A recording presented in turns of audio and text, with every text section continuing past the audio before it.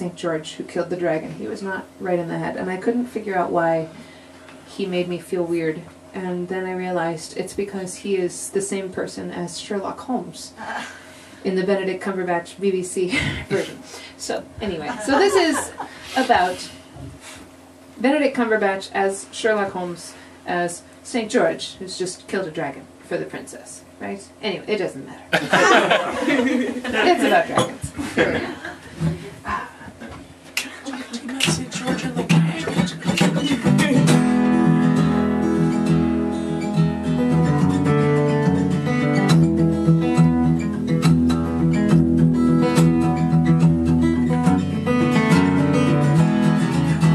Elementary, my dear, said St. George to the maiden as he drove his halberd home. The worm was weak in the small of his throat miss. It fluttered when he spewed smoke.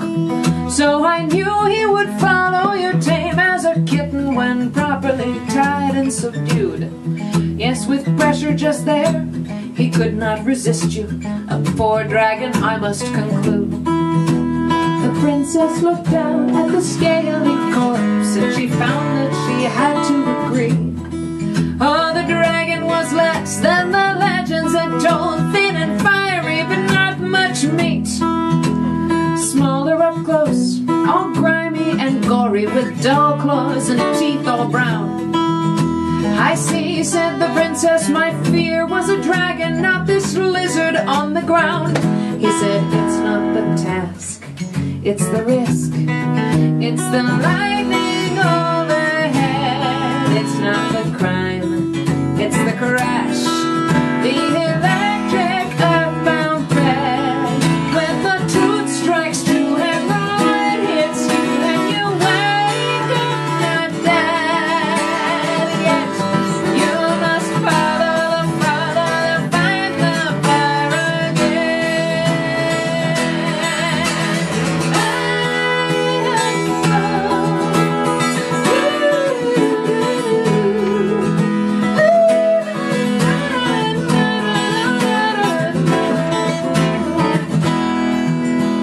No, thank you, my dear, said St. George to the princess as she offered him her glove. I require no token, miss, no favor at all.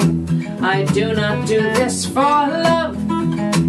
The princess felt slighted and frowned in frustration at her savior's distant coldness.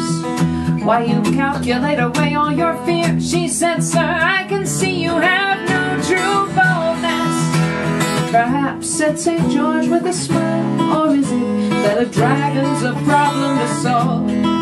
You can calculate risk, but the truth of it is there is nothing so stirs the pulse. When the graceful solution electrifies you, then the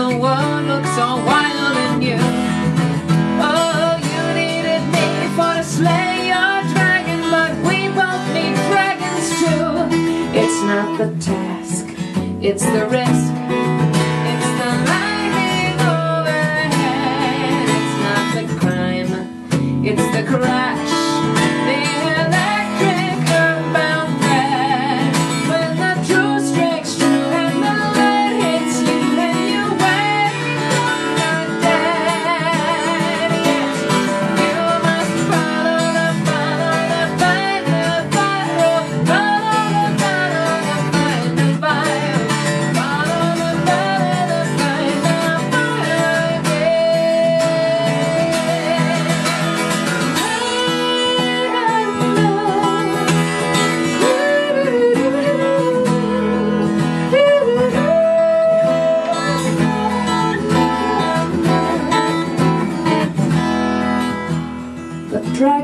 Killed, there were huts to rebuild, scorched city walls to replace.